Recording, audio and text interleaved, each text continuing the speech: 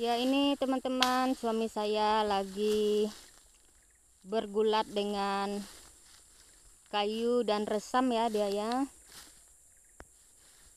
Halo. Dia sudah bertopeng ya teman-teman. Dia menghindar dari gigitan nyamuk ya.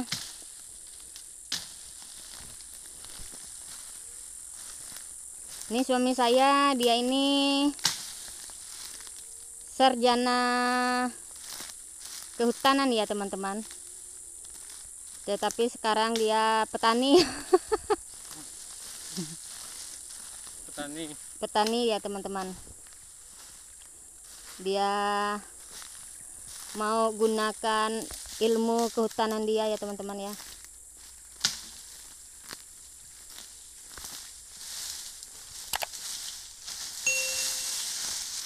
Ini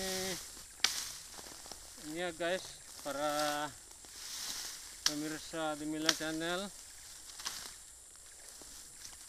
Ini gulma-gulma yang perlu kita ah, tangani. Kalau seperti ini resam mudah sekali ya. Tapi yang seperti ini, kayu-kayu seperti ini perlu kita buang.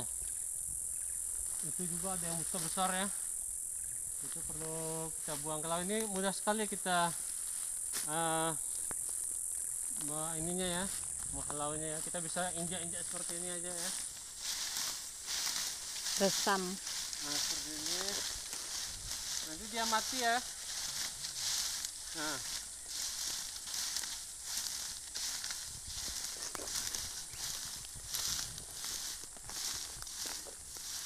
Ini agak mudah yang seperti ini resam-resam ini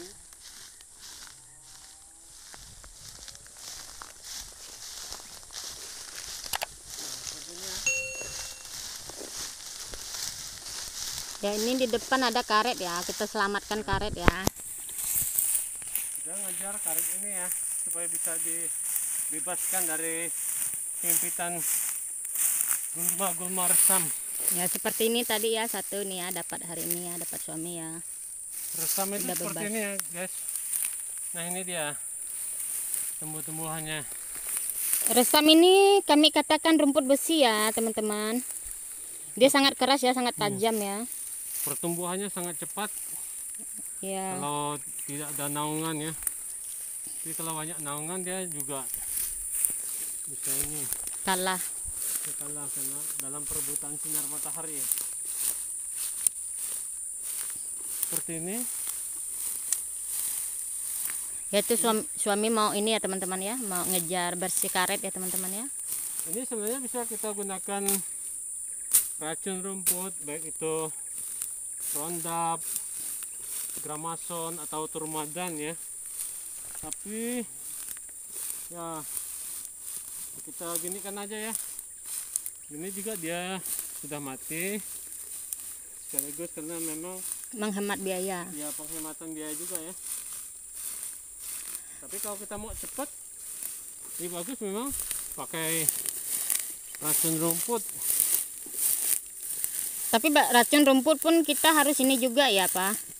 Harus di gini kan dulu juga ya. ya Kalau kita semprot berdiri dia pun lama ya tumbangnya ya. ya Matinya lama. karena dia hanya me, me- apa tidak sampai ke akar akarnya Karena ini udah terlalu tebal ya. Jadi memang lebih bagus hasilnya tuh ya diinjak-injak ya teman-teman ya.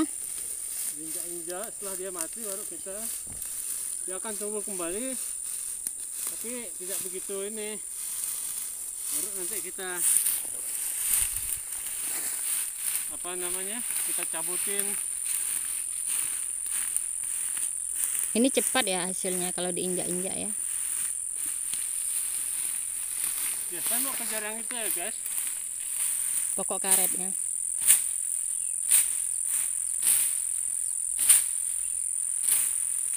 Karet kalau dia lapang terus ya teman-teman, tidak lama ya pertumbuhannya ya. Cepat Ya. kita sadap ya.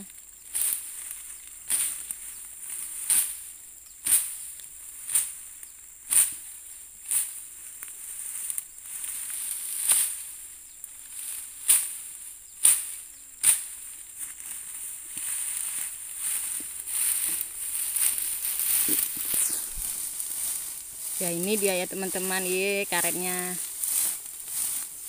udah hampir terbuka ya.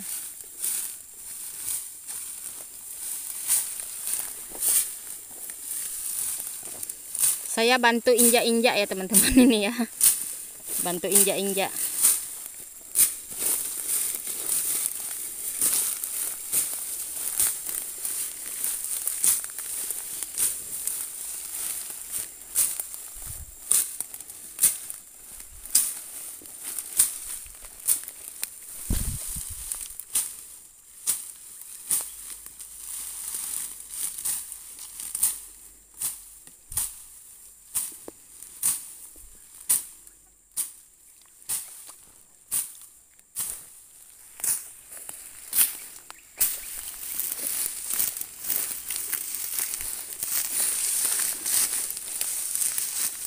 ini ya terbebas ya.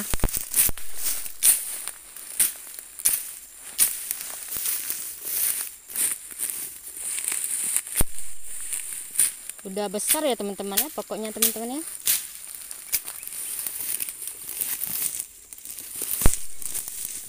Ini dari kayaknya dari mulai pen- pertama kali ini ya di ladang ditanam karetnya enggak pernah dibersihkan ya teman-teman ya.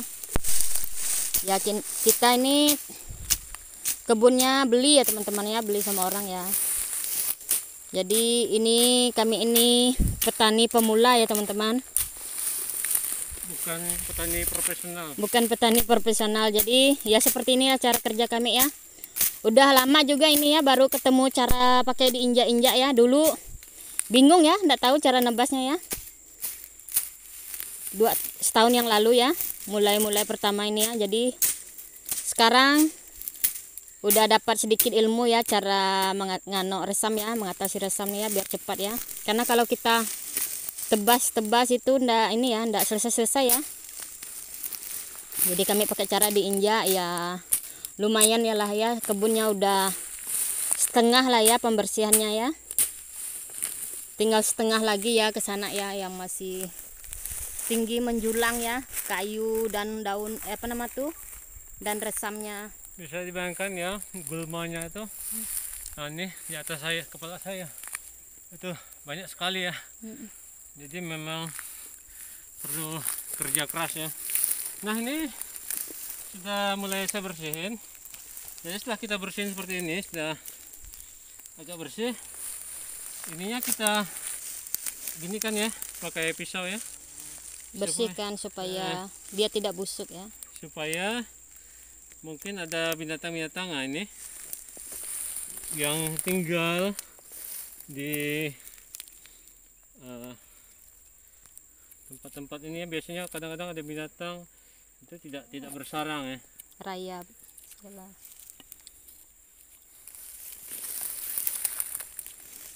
Nah ini. Nah, ini kita tapi jangan sampai terkena melukai kulitnya ya. Ini sebenarnya udah bisa ditoreh ya teman-teman ya karetnya ya.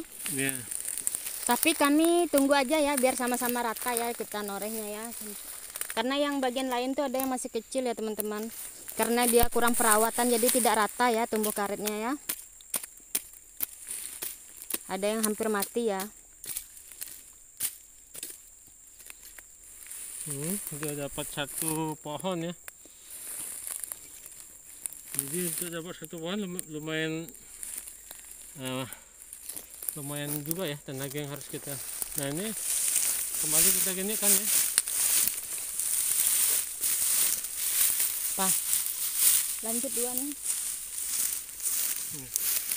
Dua tuh, biar sampai 10 menit. Nah ini juga ada dua ya.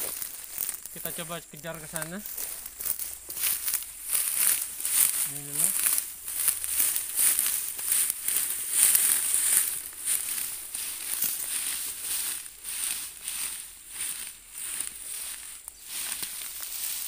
Biasanya saya pakai membelakangi ya. Seperti ini. Menghinar muka juga ya sayang ya. Ya, Menghinar mata dari resam ya. ya. ada yang bisa diinjak ada yang ya nggak mau kita gunakan parang ya seperti ini yaitu karena inilah ya terlalu sempit ya lambat yang itu pertumbuhannya kecil ya hasilnya ya. Ya. dia terjadi perebutan unsur hara ya. Ingin resam. Perebutan unsur hara dari resam jadi dia lambat besarnya ya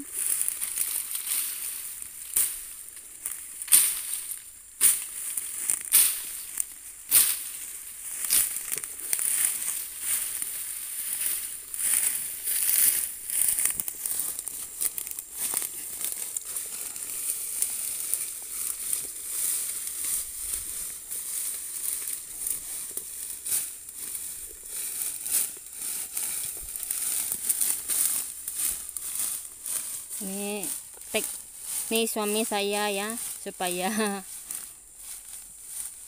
ini ya jadi dia maju mundur. Supaya tumbangnya tuh satu arah ya teman-teman. Satu arah ke belakang sana ya tumbangannya tumbang resamnya ya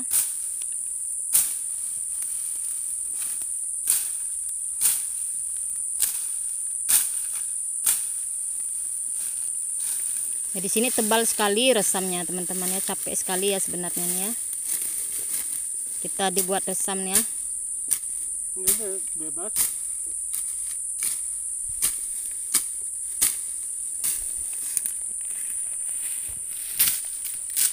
Ya ini pasti bersyukur ya karet ya tanaman nih ya ber- dengan kita ya karena dia bebas ya. Pasti bersuka cita ya bebas dari gulma yang menghimpitnya.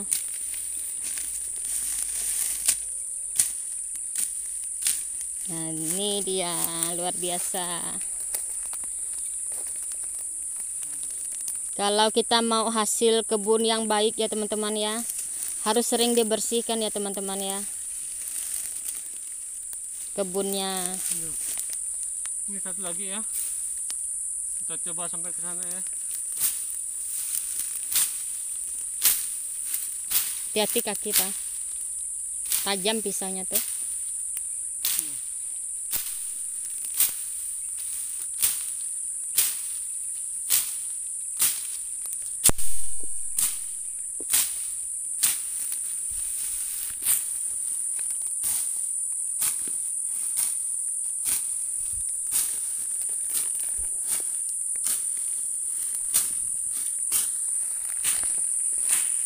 itu di sana pokok karet juga ya teman-teman ya?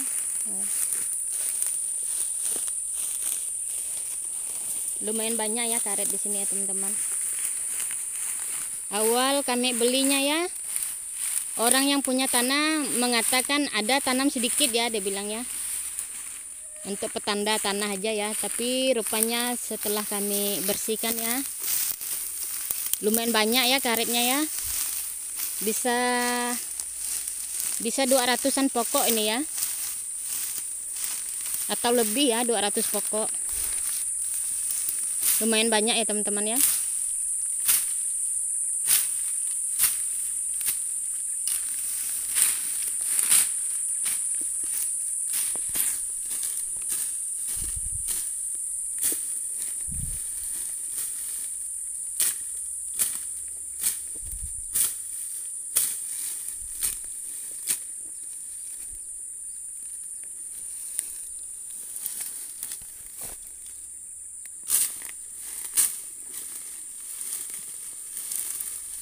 ya ini karetnya udah mulai terbebas ya teman-teman ya. Dari gulma ya. Ini juga udah lumayan besar ya teman-teman ya pokoknya ya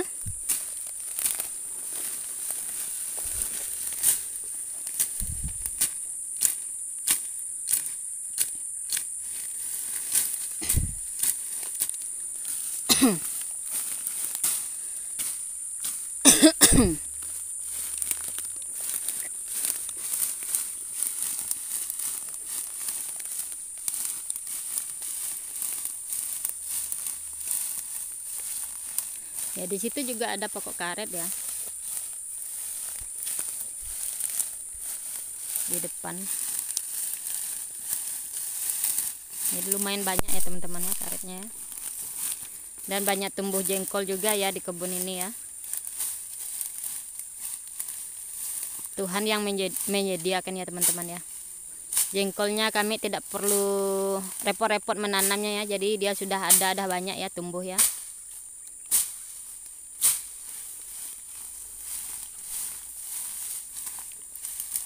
Karena jengkol lumayan ya teman-teman itu ya kalau dipanen tuh ya lumayan dapat uangnya ya. Karena jengkol tuh mahal ya teman-teman ya di pasar tuh ya. Belasan ribu sampai dua puluhan ribu ya teman-teman ya.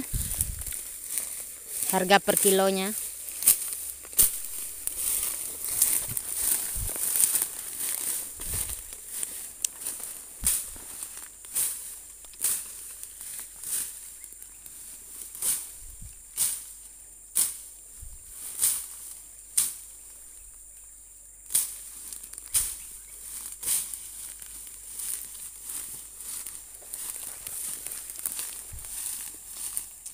ini luar biasa ya teman-teman ya suami saya ya. Walaupun petani baru ya lumayan cepat dia ngerjakan ya. Udah. Ini datang masa